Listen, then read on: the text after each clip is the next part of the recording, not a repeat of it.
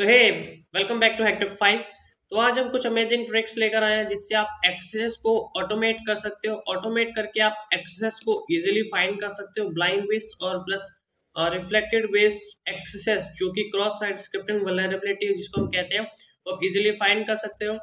चलिए, सबसे पहले स्टार्ट कर लेते हैं। सबसे पहले जो आपको ऊपर अभी डिस्प्ले पे कमांड आ रही है इसे सिंपली हम किसी भी वेबसाइट से एक्सेस वाल जहाँ पे हम एक्सेस ट्राई कर सकते हैं, वो पैरामीटर्स आपके डिस्प्ले पे हो जाएँगे। आप उसको सेव कर सकते हो यहाँ पे, जो हमारी लास्ट में ए न्यू कमांड है इससे।